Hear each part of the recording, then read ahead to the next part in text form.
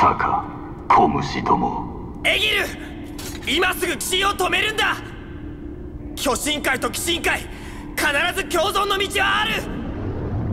僕たちが争う理由なんてない。私にはある。言ったはずだ。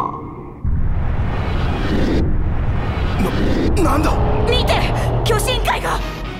この鬼神のうなりは我ら同族の遠差の声だと。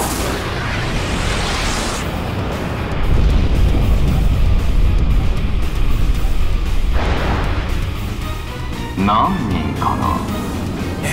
この一撃で何人が潰れたか。何百人？いや何千人かもしれんな。エギル貴様。兄様もうやめて。このままでは巨神が再びあの悲劇を繰り返そうというの。そうなる前に立つ我らの呪縛を。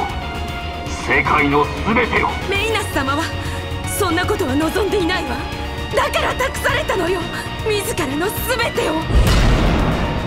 ザレ言ホームスの小娘のうちに隠れ住むようなものはもはや我らの神ではない。そう。もはや神などいらぬこの世界には。エギル。あなたは恋シュルクよ。ザンザの継承者。